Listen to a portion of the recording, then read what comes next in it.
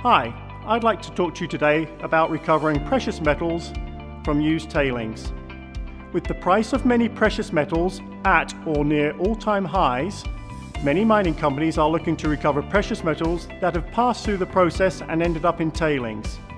This has so many benefits, not least of all the fact that the tailings have already been processed through the mill so do not need to pass through the comminution circuits.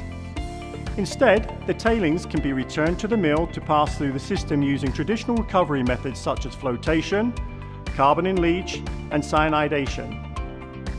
Dredging and pumping the tailings back to the mill requires a slurry pump capable of dredging high percentages of solids with as little water as possible.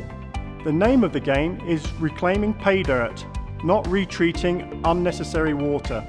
The Hevvy Toyo Dredge Pump series have been designed for just this job capable of pumping up to 70% solids by weight, designed to move up to 5 inch rocks and boasting a 1.35 service factor motor, tailings reclamation is the job of choice for these pumps. Furthermore, the Folsom Industrial Engineering teams will design a barge complete with dredge pumps and booster pumps specifically for your tailings recovery. Contact us today and start making your tailings pay.